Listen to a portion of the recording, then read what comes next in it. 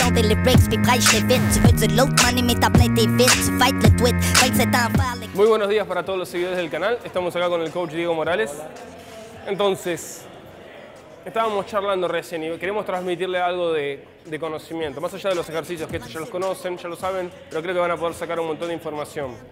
¿Qué queremos hablarles a los chicos? Queríamos hablarles sobre las líneas de las fuerzas Sí, y la transferencia a gestos deportivos. A gestos me contabas, ¿cuáles son los dos gestos deportivos que más por utilizan? excelencia, la potencia, correr, velocidad y el salto. La capacidad de generar potencia hacia arriba y potencia horizontal. Exactamente. Cualquier deporte se mide desde la NFL, desde el básquet profesional, el fútbol inclusivamente, porque o sea, si sos un delantero o un defensor tenés que saltar para bloquear. Creo que son las capacidades atléticas más importantes que hay. La capacidad de generar potencia, obviamente, ¿no? Pero sobre todo que la cadera pueda transmitir una velocidad de reacción horizontal y vertical. Bien, trasladable a cualquier deporte, a cualquier actividad. Entonces, vamos a desmitificar un par de cosas. Así es.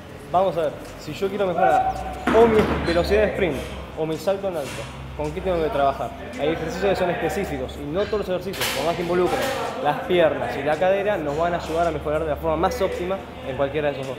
Excelente, exactamente. Entonces, ¿cuáles son los ejercicios clásicos que uno utiliza generalmente para mejorar la potencia de salto? La sentadilla y el hip Exactamente, el hip thrust. Y entonces nosotros queríamos diferenciar una cosa. ¿Para qué se usa la sentadilla? ¿Cuáles son los estudios? ¿Qué demostraron? ¿Qué beneficio tengo con la sentadilla? La sentadilla, al ser un movimiento con una línea de fuerza vertical, mejora todos los movimientos que tienen que ver con el empuje vertical. Con respecto a la sentadilla, si yo quiero mejorar mi potencia de salto, ¿hasta dónde es conveniente hacerlo? Demostrado en los estudios que tengo más beneficio. Los 90 grados. Bajar 90 más grados. allá de los 90 grados no tiene mejoras. Ya que cuando uno salta, no va más allá de los 90 grados para buscar la máxima Exactamente. potencia. Esto es a mero deportivo, claro. Yo tengo una persona que es un jugador de fútbol o que es un jugador de básquet, preferiblemente le voy a hacer una sentadilla a 90 grados.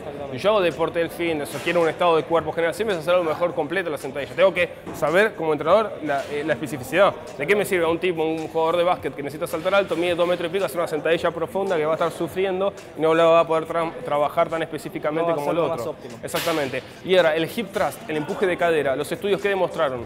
Que mejora mucho mejor que la sentadilla la velocidad de sprint, ya que tiene un empuje de tipo horizontal y en el sprint se necesita eso, moverse de forma horizontal. Exactamente, esto lo aclaramos por qué, porque antes, si bien la sentadilla es el, rey de los ejercicios junto con el peso muerto, eh, se pensaba que servía exclusivamente para todo.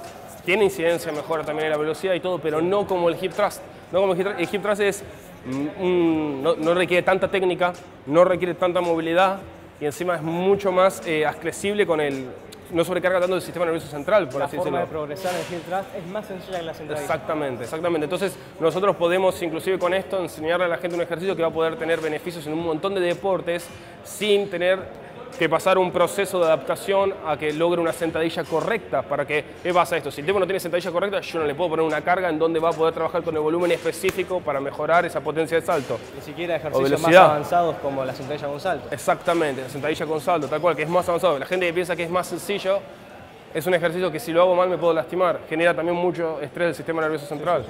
También esto queremos aclarar, por ejemplo, que se demostró que inclusive la, la sentadilla con salto la sentadilla 90 genera también inclusive más estrés que, lo- que el drop under, ¿no? que es el salto caer de cajón o saltar de cajón.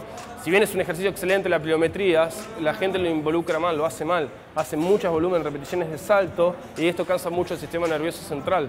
Es importante manejar más que nada en ese tipo de trabajo tan estresante la intensidad y el volumen de la forma más óptima. Exactamente. Entonces, si a ustedes les interesa que los ayudemos en cómo mejorar la potencia de salto vertical o la velocidad de reacción, la capacidad de correr más explosivo, nos escriben, nos dejan los comentarios y nos estamos viendo. Muchas gracias por mirar el canal. Si quieren que hagamos algún video específico, nos lo dejan escrito.